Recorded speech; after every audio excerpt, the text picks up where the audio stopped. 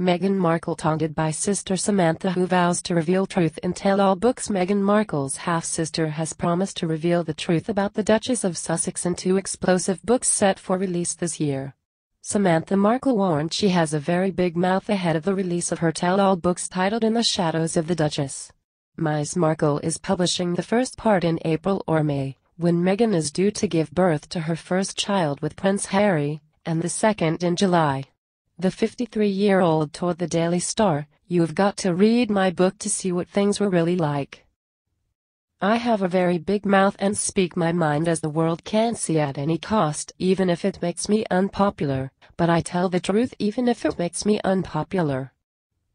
I have never been afraid of the truth because if the truth makes me lose friends then they weren't friends that I wanted to have anyway. Ms. Markle who has repeatedly attacked Meghan since she was not invited to her royal wedding last year suggested the book would include details about the Duchess's childhood. She said, my sister was not raised as an only child that is a PR lie. And Ms. Markle insisted the book is not a negative pamphlet but added that whether it is all positive is subjective. She said, I have spoken the truth about my feelings but have never been out to hurt my sister.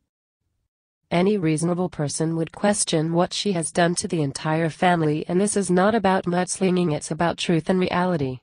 Call it whatever you want but until you read it you have no idea and cannot judge. It is an honest, warm and witty and heartfelt memoir. Not a negative pamphlet.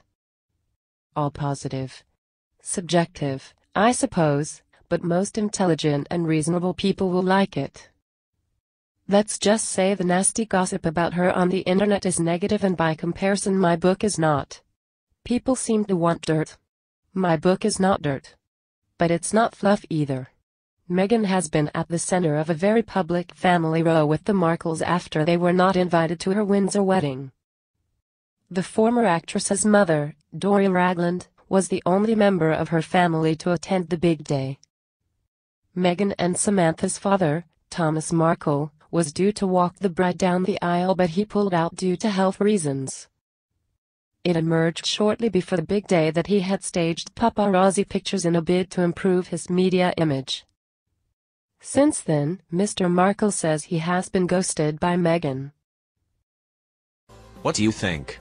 Share your thoughts in the comment section below and don't forget to subscribe to get instant news update.